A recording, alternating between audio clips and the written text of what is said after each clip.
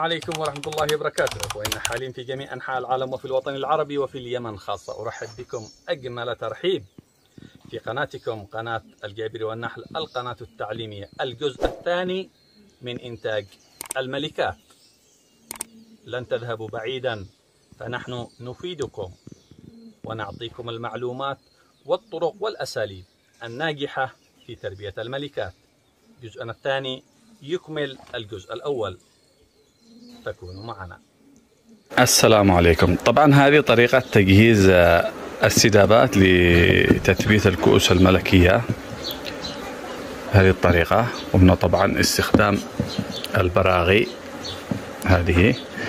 وثبتنا السدابات هذه متحركة لسهولة الحركة هذه. نستطيع آه، أخذ ونزع وتركيب الكؤوس الملكية وحتى كذلك آه، أخذ الغذاء الملكي.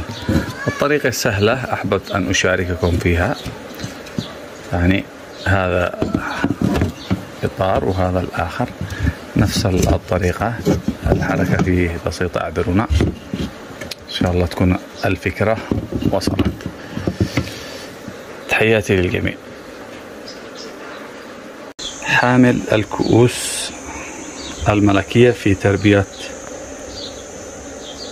الملكات كما تشاهدون هذه مجموعة من آه، السدابات عبارة عن آه، أربعين حامل كأس ملكي.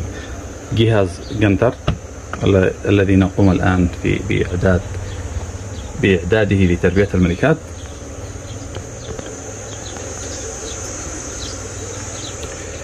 كما تشاهدون الآن قمنا بتثبيت الإطار الأول.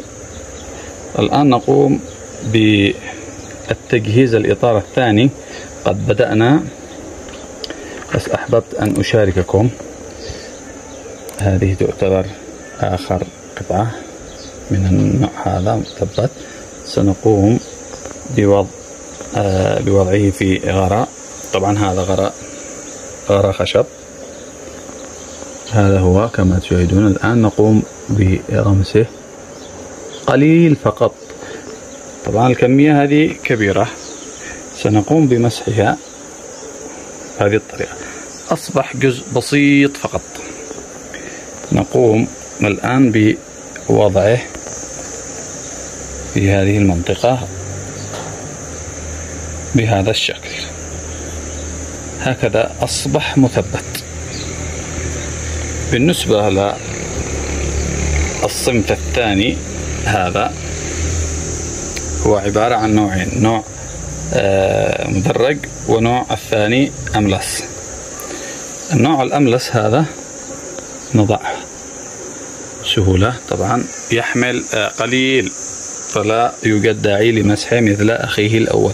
نقوم بوضعه بهذه الطريقة. أخذ الثاني.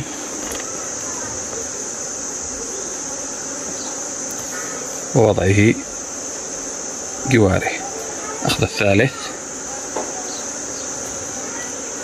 ووضعه. بمسافات ثابتة.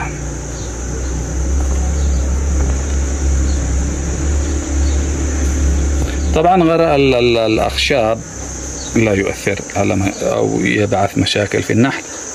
آه، قد قمت بتجربة تثبيت إطارات. تثبيت أقراص في الإطارات. ولا توجد أي آه، مشكلة نهائيا.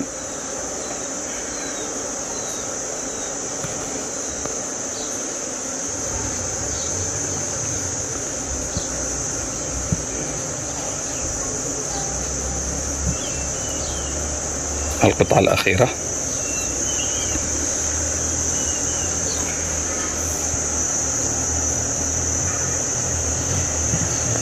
يعذرونا نصور باليد الأخرى أحيانا تكون الصورة واضحة.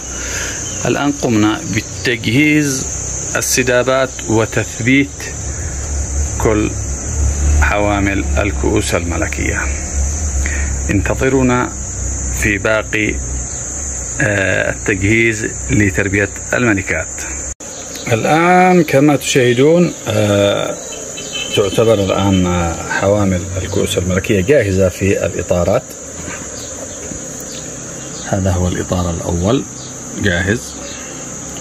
وهذا الإطار الثاني أيضا. جاهز. إن شاء الله تكون وصلت الفكرة. فكرة سهلة وجميلة ورائعة جدا.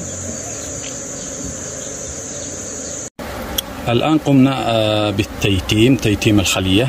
شاهدوا. آه، خلية ما شاء الله. تبارك الله. قولوا تبارك الله أحسن الخالقين قمنا بتيتيمها لاستقبال الكؤوس الملكية غدا إن شاء الله.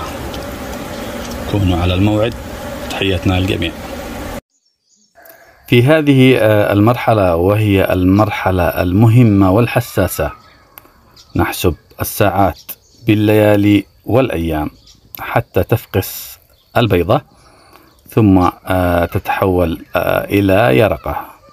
في ساعتها الأولى هذه نقطة مهمة. في ساعتها الأولى نجهزها ونقوم بنقلها إلى الكؤوس الملكية آه، التي سنقوم بنقلها إلى الخلية المتممة.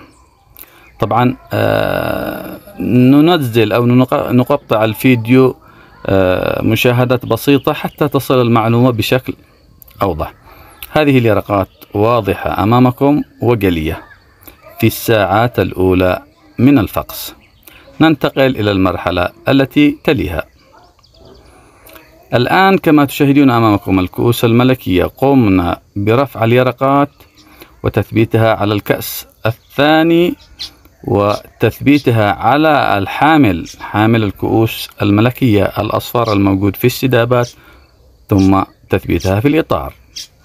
هنا قمنا بنقل الإطارين الأول والثاني إلى الخلية المتممة.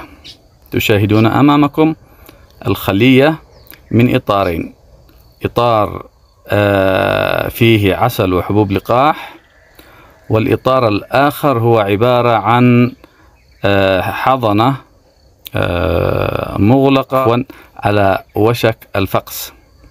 هذا على أساس يكون داعم للخلية من عدم التراجع لأنه لا يوجد فيها ملكة تبيض ونحصل على أجيال متتالية من النحل. طبعا آه، المركز على الفيديو كان يلاحظ ثلاثة إطارات. كنت وضعت إطار أساس حفاظا بس على آه، النحل من كثافة عالية على أساس أنه يتدلى في الإطار الفارغ.